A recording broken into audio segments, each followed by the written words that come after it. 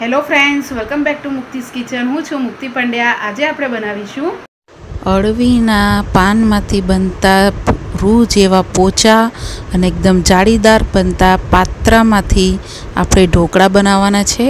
અહીંયા આપણે પાત્રાના ઢોકળા કરવાના છે. આપણે ટ્રેડિશનલ રીતે પાત્રા બી બનાવતા હોઈએ છીએ. એવી જ રીતે આપણે અલગ જ રીતમાં ટેસ્ટી, એકદમ જાળીદાર પાત્રાના ઢોકળા બનાવીશું. તો એની માટે અહીંયા સૌથી પહેલાં આપણે પાત્રાના પાન લઈ લેવાના છે. અહીંયા તમારે આવા લીલા જ પાત્રાના પાન લેવાના પીળાશ પડતા નહીં લેવાના. એના પરથી જે નસો હોય છે, જે જાડી જાડી દાંડીઓ હોય છે, પાના ઉપર, એ તમારે બધી જ કાઢીને રેડી કરી લેવાનું છે. આ રીતે તમે જોઈ શકો છો, જે રીતે આપણે પાત્રા બનાવતી વખતે નસો કાઢીએ છીએ, એ જ રીતે તમારે આમાંથી બી બધી જ નસો કાઢીને રેડી કરી લેવાના. પછી પાત્રાના પાનને ધોઈને અને સાફ કરીને તમારે અહીંયા લઈ લેવાના રહેશે. હવે આવી રીતે બધા જ પાત્રાના પાન તમામાંથી બધી નસો નીકળી જાય, પછી આ પાત્રાના પાનને આ રીતે તમારે રોલ્સ વાળીને રેડી કરી લેવાના છે. બધા એકસાથે કરવાના, જો તમને ન ફાવે તો એક એક પાત્રાને બી રોલ વાળીને આ રીતે તમારે ઝીણા તમારે કટ કરીને રેડી કરી લેવાના છે. અહીંયા બહુ મોટા કટ તમારે નહીં કરવાના, આ રીતે ઝીણા જ કટ કરવાના રહેશે. આવી જ રીતે બધા જ પાત્રાના પાનને તમારે કટ કરી દેવાના. એટલું ખાસ ધ્યાન રાખવાનું કે પાત્રાના પાનને કટ કર્યા પછી તમારે જરા બી પાણીમાં ધોવાના નહીં. હવે આપણે આની અંદર ઢોકળા બનાવવા માટે અહીંયા આપણે બેટર રેડી કરવાનું છે. તો એમાં જ પાનની અંદર આપણે ત્રણ ચમચા જેટલું બેસન એડ કરીશું. અહીંયા બેસન તમારે ચારીનો ઉપયોગમાં લેવાનો. પછી આની અંદર આપણે બે ચમચી જેવો ઝીણો રવો એડ કરીશું. અહીંયા રવો એડ કરવાથી તમારા જે ઢોકળા છે એ સરસ એવા ફૂલશે અને એકદમ જ પોચા બનીને રેડી થશે. અહીંયા આપણે સોડા કે એનોનો ઉપયોગ કરવાનો નથી, એટલા માટે અહીંયા આપણે રવો એડ કર્યો છે. આ પ્રમાણે બે ચમચી જેવું લાલ મરચું પાવડર બે ચમચી જેવું ધાણાજીરું પાવડર અડધી ચમચી જેવું હળદર પાવડર અડધી ચમચી જેવું અજમો એક ચમચી જેવું આપણે આદુ મરચાં, લસણની પેસ્ટ એકથી બે ચમચી જેવો આપણે આંબલીનો પલ્પ એડ કરીશું અને બે ચમચી જેવો અહીંયા આપણે ગોળનો ઉપયોગ કરીશું.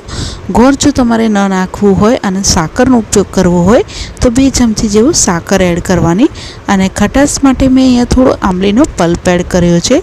સ્વાદ પ્રમાણે મીઠું એડ કરીશું. એક ચમચી જેવું ગરમ મસાલો પાવડર ફ્રેશ કોથમીર એડ કરીશું થોડી. અને એક ચમચી જેવું આપણે સફેદ તલ એડ કરીશું.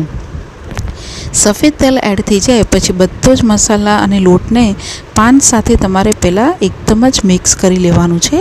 અહીંયા શરૂઆતમાં તમારે પાણીનો ઉપયોગ નહીં કરવાનો. મિક્સ થઈ જાય, પછી આપણે થોડુંક થોડુંક પાણી એડ કરીને અહીંયા આપણે બેટર જેવું બનાવીને રેડી કરવાનું રહેશે. અહીંયા એટલું ખાસ ધ્યાન રાખવાનું કે આપણું નોર્મલ જે ઢોકળાનું બેટર હોય છે, ઢીલું હોય છે, પણ અહીંયા આપણે થોડું ઘાટું બેટર રેડી કરવાનું રહેશે. બહુ પતલું એવું બેટર નથી કરવાનું. અને અહીંયા બહુ તમારે લોટનો ઉપયોગ બી નહીં કરવાનો અને બહુ પાણીનો ઉપયોગ નહીં કરવાનો. બસ આ રીતે થોડુંક મિક્સ થઈ જાય અને એકદમ જ સરસ પાન પર કોટ થઈ જાય આખો લોટ ને બધું. ત્યાં સુધી તમારે આની અંદર પાણી એડ કરવાનું રહેશે. અને આ રીતે તમારે મિક્સ કરી લેવાનું રહેશે. જરા બી લોટનો અહીંયા ગઠ્ઠા ન રહે, એ રીતે તમારે મિક્સ કરવાનું રહેશે. તમે જોઈ શકો છો કે આ રીતનું તમારે બેટર રેડી કરી લેવાનું રહેશે. હવે અહીંયા આપણે, અહીંયા આ બેટર રેડી થઈ ગયું છે. તો હવે આપણે આની અંદર એકથી બે ચમચી જેટલું તેલ એડ કરવાનું છે.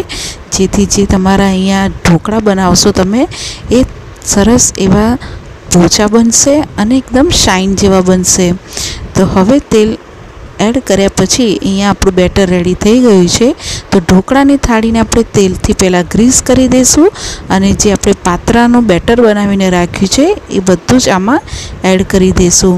આટલી ક્વોન્ટિટીથી તમારી બે થાળી જેટલા પાત્રા બનીને, ઢોકળા બનીને રેડી થશે. હવે આપણે હાથેથી જ આ રીતે સ્પ્રેડ કરી દેવાનું બધું અને ઉપરથી તમારે જો તલ કે મરી પાવડર એડ કરવું હોય તો કરી શકો છો. હવે આ થાળીને આપણે સ્ટીમરમાં મૂકી દઈશું. સ્ટીમરમાં મૂક્યા પછી તમારે ઉપરથી ઢાંકણું ઢાંકીને પંદર મિનિટ માટે કૂક થવા દેશું. જ્યાં સુધી સરસ એવા ચડી જાય ત્યાં સુધી. પંદર મિનિટ જેવું અહીંયા થઈ ગયું છે, તો હવે આપણે ખોલીને ચેક કરી લઈએ. તો તમે જોઈ શકો છો કે અહીંયા આપણા પાત્રાના પાનમાંથી ઢોકળા સરસ એવા બની ગયા છે, કૂક બી સરસ થઈ ગયા છે અને ચાકુ બી ક્લીન નીકળ્યું છે. તો હવે આપણે આ ઢોકળાની થાળીને સ્ટીમરમાંથી આપણે બહાર કાઢી દઈશું અને ગેસની ફ્લેમને બંધ કરી લઈશું. તો અહીંયા આપણે બધી જ જે થાળીઓ છે એ કાઢીને રેડી કરી છે. હવે રૂમ ટેમ્પરેચર ઉપર આપણે આને ઠંડુ થવા દઈશું. ઠંડુ થાય થાય છે ત્યાં સુધી આપણે આનો વઘાર કરી લઈએ. તો ગેસ ચાલુ કરીને એક પેનમાં મેં બે ચમચા જેટલું તેલ લીધેલું છે.